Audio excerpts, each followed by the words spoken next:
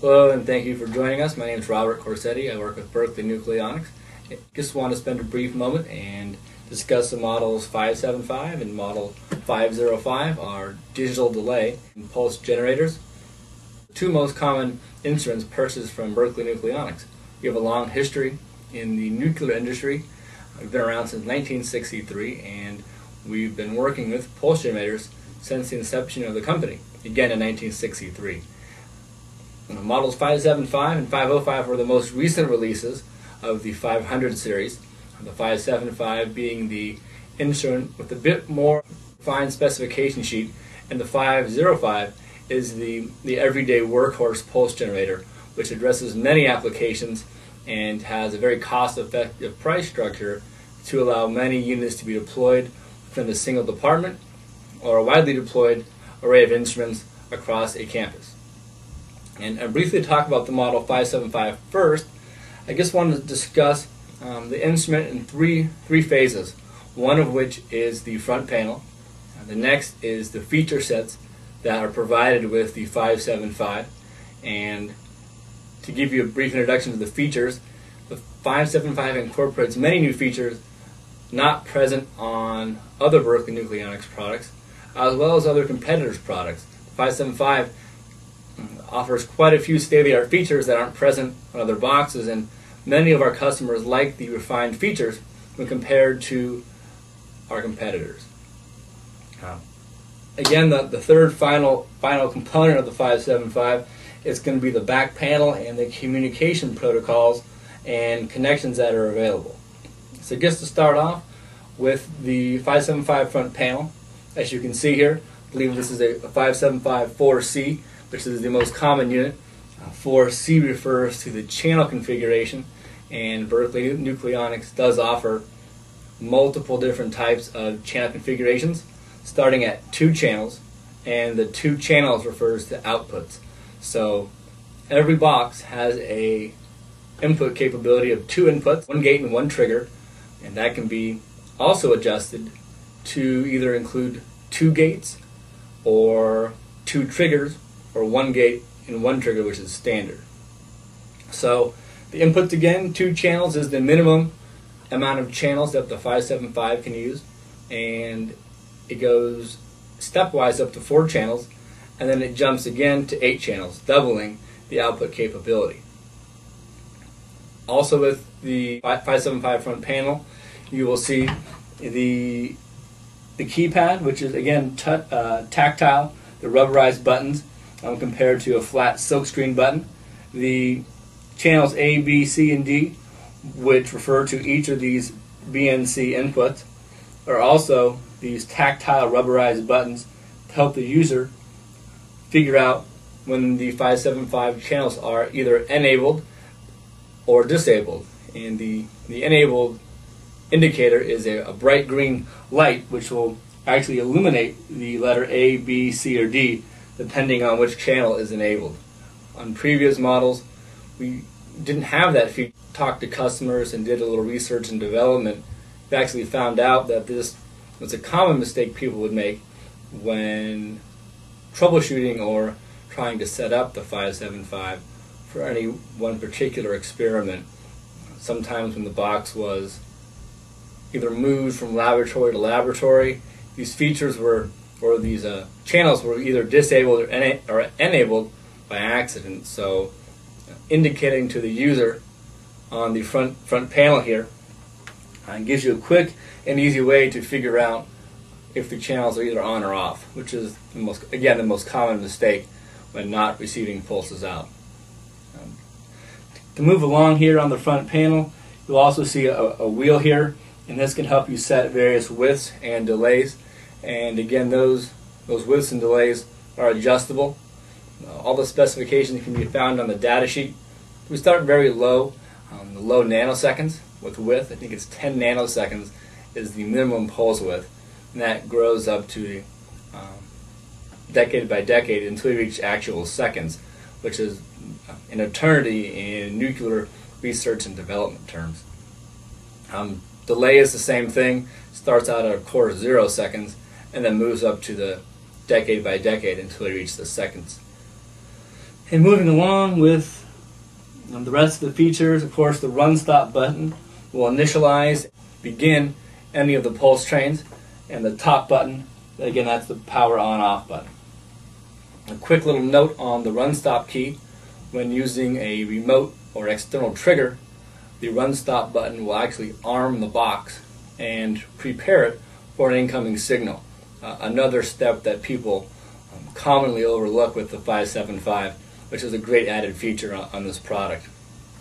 The 575 or 505, excuse me, has similar features, BNC connectors, again an 8 channel 8 channel output box, but this has one input and the buttons are a bit different on this particular unit when compared to the 575. Front panel is pretty simple, easy to use. All the features on model 575 and 505 can be accessed from the front panel, which is again an, a feature that not all of our competitors have. Many of our competitors need to log into a PC or some sort of external computer to access these more or less hidden features. We did away with that type of mindset with each of these units and provide uh, full configurability from the front panel.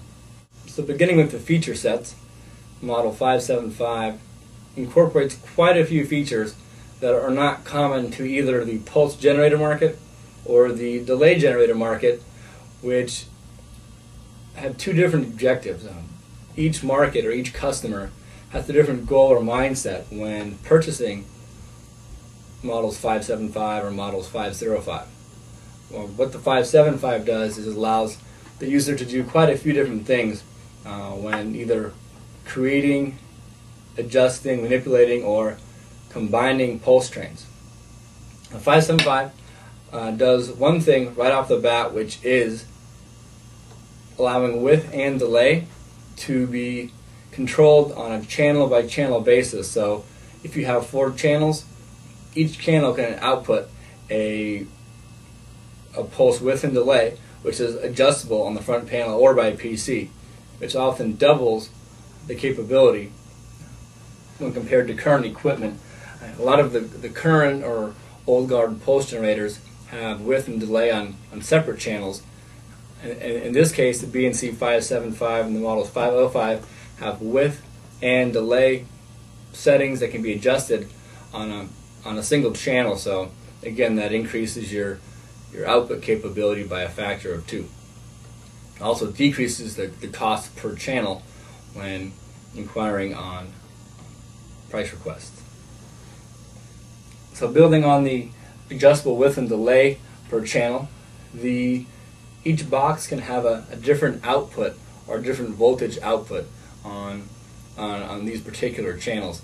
If the user wants to use a standard TTL pulse, of course that's available on both units. The ability to adjust the amplitude is available on the model 575. So if you don't want a TTL pulse, may want something higher around the 10 volt range you can adjust that channel to have 10 volts out on channel A. Channel B can have TTL. Channel C can actually use a 35 volt output option, um, if so, if that output's desired. So you can see the, the pulse trains are getting to be quite diverse in a matter of seconds where we haven't even discussed the rest of the features yet and the 575 is already getting a, a bit more complicated. Um, again, building on the adjustable amplitudes, you can also adjust the amount of pulses. If you like to do a, a pulse train that has a duty cycle, burst, continuous mode, or a single shot, all those features can be accessed on a channel by channel basis and be adjusted again various different widths, delays, and amplitude on a channel by channel basis. So now that we've addressed the, the single shot, which is a a single pulse upon initiating the pulse generator. we've also discussed a burst, which is a, a group of pulses that's selected by the user on a channel by channel basis. You've also alluded to the fact you can run the box in a continuous mode, which will run for any extended period of time, overnight, for weeks on, on end, without stopping. The 575 also allows the user to configure the duty cycle with n number of pulses on and m number of pulses off. So you can select the ratio of on to off pulses in case you're doing a detector test, maybe a, a simulated nuclear experiment where you want to um, simulate some sort of randomness, or maybe like to uh, test various different circuits. The, the 575 duty cycle allows the user to configure the percentage of N pulses on and M pulses off, which is a new feature the 575 has compared to, again, other equipment deployed at laboratories that 100% adjustability on the front panel as well as through PC is another feature the, the 575 adds compared to other, other pulse generators offered by Berkeley Nucleonics. So if we spin this unit around, you'll be able to see the back panel. And the back panel illustrates a few different things, one of which is the, the CE marking that the 575 has. And on the back panel of the 505, you can also see the CE marking. The, the power input is to the 575 and 505. Supports international customers uh, and 110 or 220 volts. Um, the power requirements are always changing across the world, and with globalization, uh, Berkeley Nucleonics has made adjustments to incorporate the various different configurations in each laboratory across the world. So we do a pretty good job when trying to look ahead to where people might want to deploy one of the 575s. And again, on the, on the back panel, you we'll see RS-232 and USB as standard communication protocol. On the 575, you can purchase an option which is Ethernet and GPIB communication capability as well. As we stated before, you can purchase either high voltage outputs and along with the high voltage we can also add a Ethernet and GPIB communication package which allows the 575 to be networked or hooked up with a LabVIEW driver which we provide at no cost uh, as standard when we ship each box. Either the 505 and the 575, both instruments have the LabVIEW driver which will work with either 575, 505, 565, or the 505. So the entire 500 series of pulse generators is covered by one LabVIEW driver. And that's nice because many of the laboratories might have an older BNC box they purchased a year or so ago. And now with the new driver, we can incorporate all these different equipment types, whether new or old, or, or future equipment. All the all the future requirements will be addressed with one driver. So you won't have to rewrite rewrite code. You won't have to um, purchase new external software. If you don't have LabVIEW or don't want to make the investment in LabVIEW, Berkeley Nucleonics provides a hyperterminal connection, again with either RS-232 or USB as standard, and the optional Ethernet and GPIB. We provide command code in every user's manual shipped with the 575 or 505 that allows um, complete control from a PC without any without buying any extra software. So if you have a rack of equipment in one room and then a clean room next door, uh, you can do all the communication from a safe place and not have to um, dress up and dress down every time you want to change uh, width and delay settings. So that's also quite nice. Give a general overview of both products, the, the, the timing, the gating, the triggering, and general synchronization is, is the, the bulk of the requests that come into Berkeley Nucleonic. To briefly address the applications of the 575 and the 505, it ranges quite a bit. The, the general use or the, um, the ease of incorporation to any application is really the, one of the, the founding features of, of each model.